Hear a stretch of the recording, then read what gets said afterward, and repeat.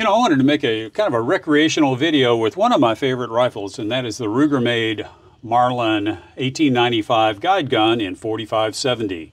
And there's something new about this gun that I really like. And right there is the 1895 Trapper. And there's something new about that gun that you may really like. I think it's pretty cool. But let's load up and do some shooting.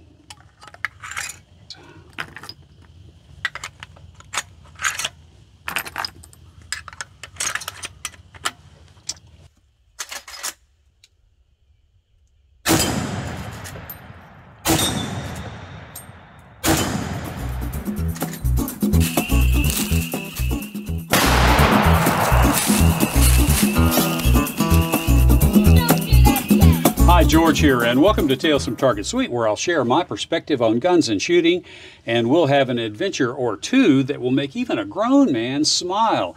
And how can you not smile about the Marlin 1895s that have been recently released? I know we're all anticipating the 336, 3030, and other cartridges maybe, but right now this is what we've got, and I know Ruger is working hard to get out some other offerings in the Marlin line. But I do have something new on here and we're going to talk about that in just a minute. But the first thing I want to do right now is give you a flyover of this gun and the ammo we're going to shoot today.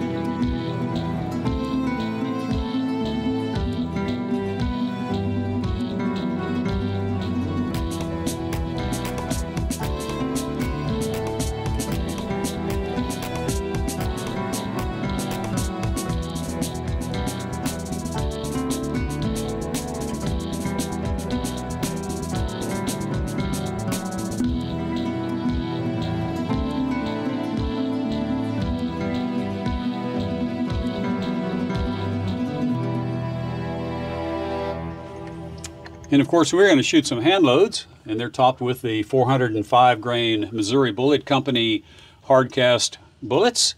And uh, also, we're going to shoot the uh, relatively new offering from Hornady, and that is their subsonic ammunition. It's a 4570, of course, topped with a 410 grain Sub X bullet.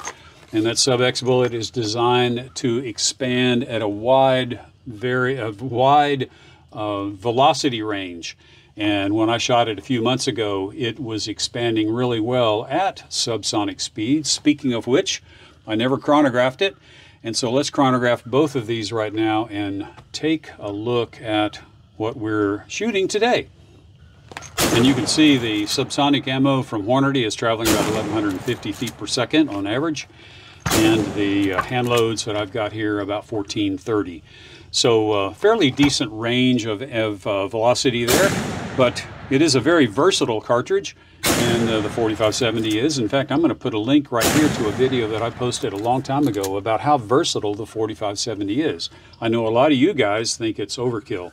And yes, you can hunt dangerous game with it, um, but uh, you can also hunt deer and pigs uh, with, with uh, comfort because of the wide variety of different kinds of ammo that you can shoot out of the 4570.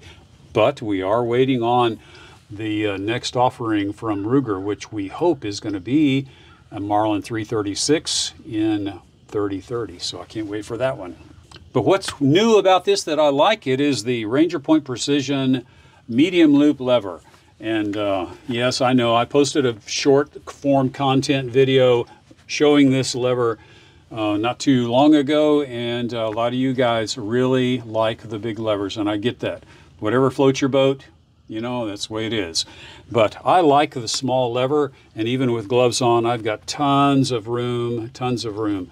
And uh, I could even put thicker gloves on. But if I lived up north and the temperatures were near zero, um, wind howling, I would probably want a big loop and uh, maybe some mittens.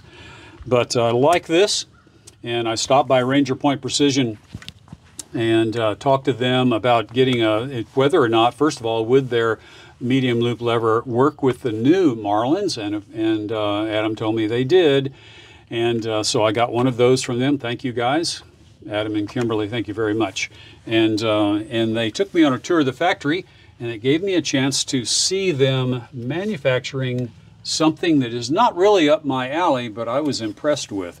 And that is this all aluminum, all aluminum M-LOK adjustable butt stock.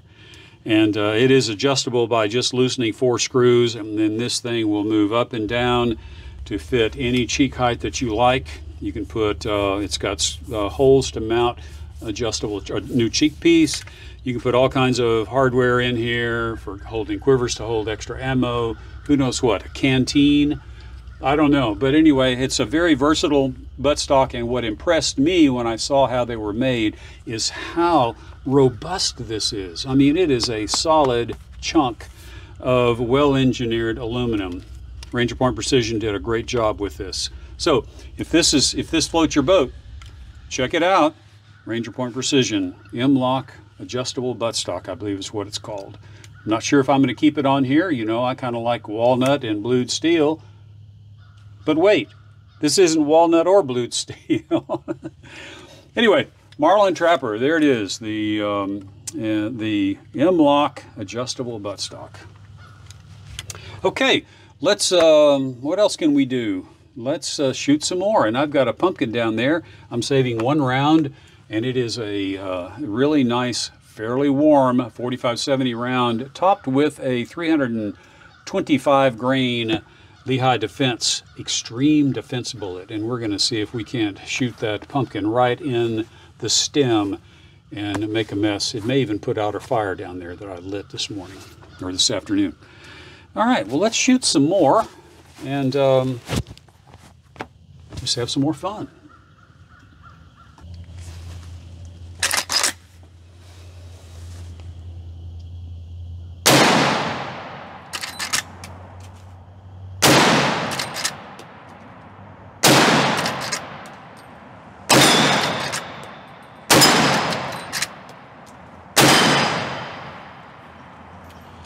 You know, there's just something about the 4570, a nice manly punch, but with rounds like these, hand loads, not painful at all. You know, I think this is the third take on this part, just because I'm having fun. And uh, this makes for a good hand warmer on a cold day. I should have my glove on, but uh, you know what? Let's just shoot those bowling pins a half-filled jug of water, and um, then we'll turn our attention to that pumpkin here in just a minute.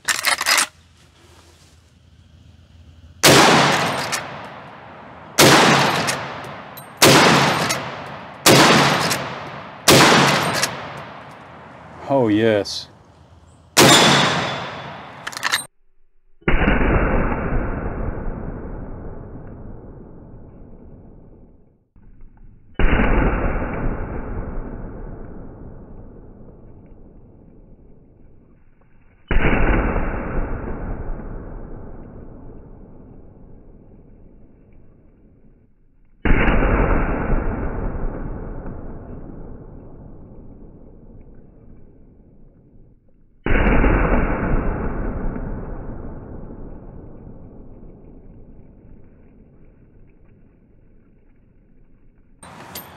All right, what do you say? Let's do that pumpkin.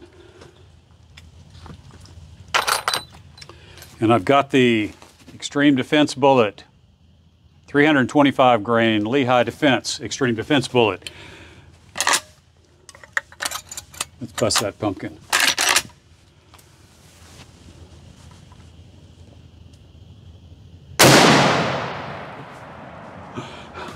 oh, wow. It went 50 feet over here.